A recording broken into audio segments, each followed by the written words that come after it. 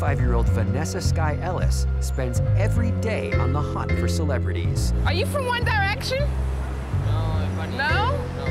And over the past seven years, she's managed to grab over 10,000 autographs and pictures with famous people. I, I'll go after whoever, whenever. That's Mario Cantone. Can I get an autograph, sir, please? Celebrity spotting is the most important thing to me.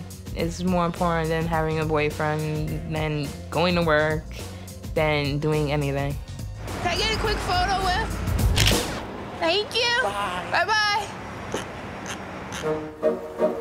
Vanessa works nights as a bartender, so she can spend her days running around the city, tracking down celebrities. Maybe I only sleep like two hours of sleep, because then in the morning I have to wake up and go right back out again and do celebrity spottings. But getting to actually meet someone famous isn't always as easy as it looks. I was wondering, is there any way I can get in?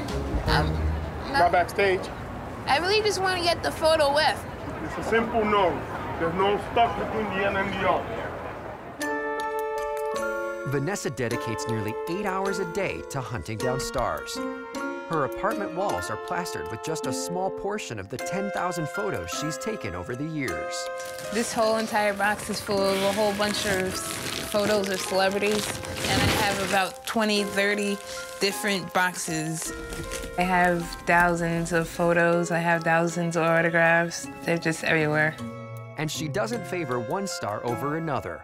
A photo with political figure Al Sharpton is just as treasured as a photo with Hollywood superstar Angelina Jolie.